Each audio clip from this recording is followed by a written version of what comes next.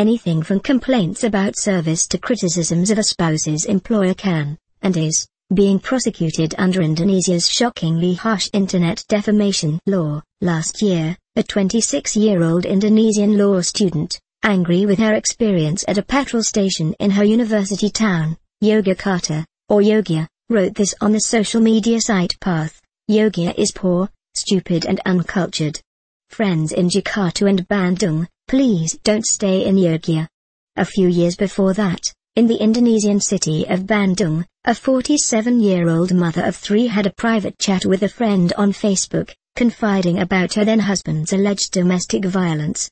The student, Florence Sihombing, was found guilty on April 1 by the Yogyakarta District Court of defaming the city of Yogyakarta and given a two-month jail sentence, a $770 fine, and six months probation, even though she had apologized profusely to the Sultan and citizens of Yogyakarta.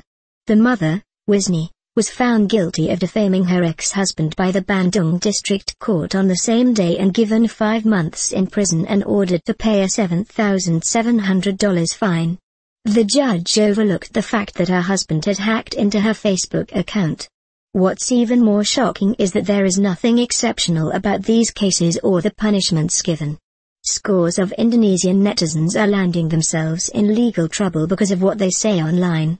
It belies the image of Indonesia as the world's third biggest democracy, whose citizens are not only prolific users of social media but also enjoy greater internet freedom, especially compared with their Southeast Asian neighbors.